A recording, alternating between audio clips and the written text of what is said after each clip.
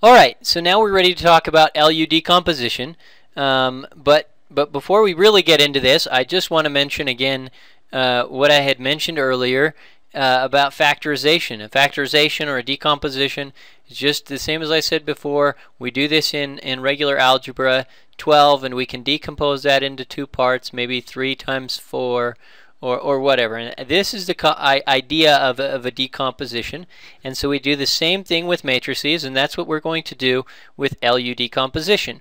And so uh, recall the whole context of this problem is we want to solve the problem AX equals B. Okay? And, and where B is a vector, X is a vector, and, and, and A is a matrix. Okay? So in solving this problem with LU decomposition, the first thing that we do is we factor A out into two parts, L and U. Where L, uh, you, will recall uh, perhaps from our discussion uh, on matrices, where L is a lower triangular matrix, meaning again that we have entries, non-zero entries um, below the diagonal and on the diagonal. Okay, so if that's a 3 by 3 for example, that would be our L, would look something like that, and our U is going to have, uh, again, along the diagonal, and then it'll have non-zero entries here. So this is the sort of structure, LU um, uh, is, is a decomposition that we can do on A. Okay. So with LU decomposition, step one is step one is decompose A into LU. Okay? Step two.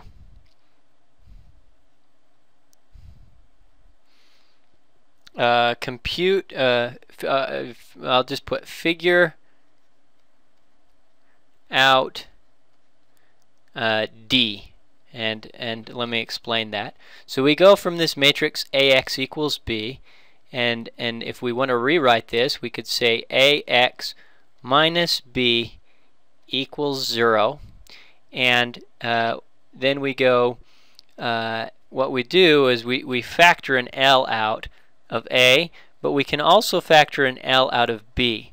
And so we can say L um, u, and I'm going to put parentheses, lux minus lb, lb, and I'm going to call that d, minus d equals uh, 0. That's because that's just L times U is A, and uh, L times D is B.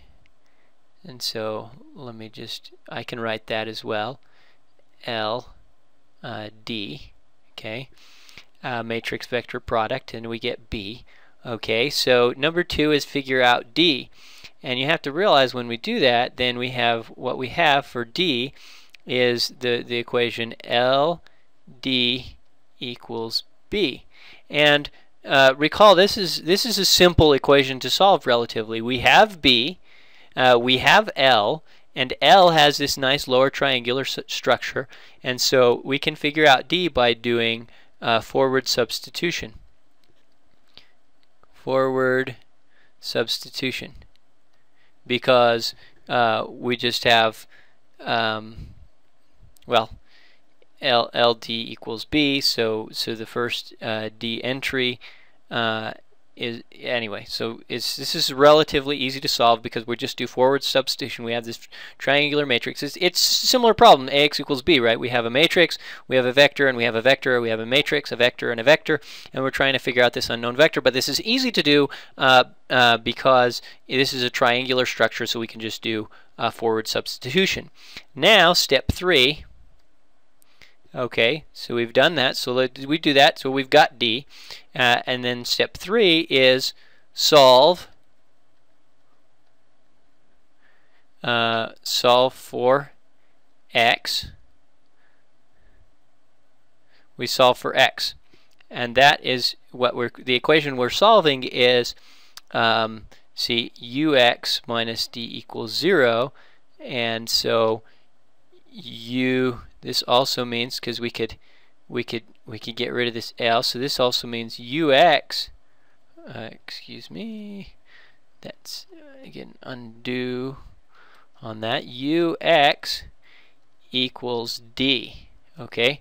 So we can solve that equation and uh, so uh, ux equals d and we've got d from the previous step and we solve we solve that equation and that again is easy because that is just uh, back substitution because of the nice triangular structure of U. Okay, so there we have LU decomposition. This is what you do. You de decompose A into L and U. We got that. Uh, we figure out D because LD equals B. That's the decomposition of B. So we use our same L that we got from this LU and we solve this equation. LD equals B by forward substitution to get uh, to, to get d, and then we solve the equation ux equals d, and that's the way we get the x. And so that gives us this very same x that we were looking for in solving this equation ax equals b.